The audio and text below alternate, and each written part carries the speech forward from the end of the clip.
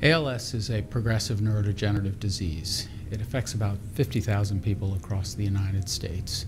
So it is relatively rare, but it's common enough that we will see it in any major metropolitan area. What happens in ALS is there is a gradual loss of motor function.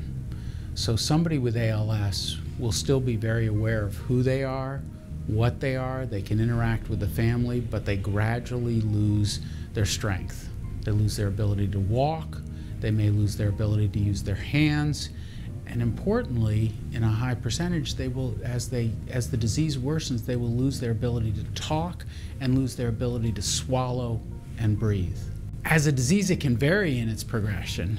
Um, some patients will have a two to five year life expectancy. That's what you'll see if you look in, if you look up uh, in the literature.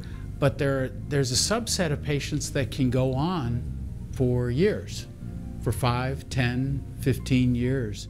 One thing that has been very clear in the research is when you get involved in a multidisciplinary clinic, not only does your length of life, but your quality of life can improve.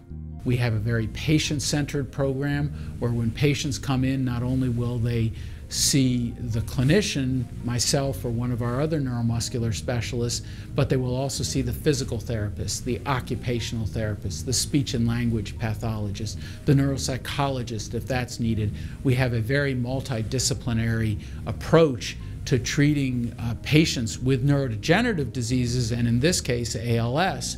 But it is a very comprehensive approach, developing a program that's going to be the best for that particular patient.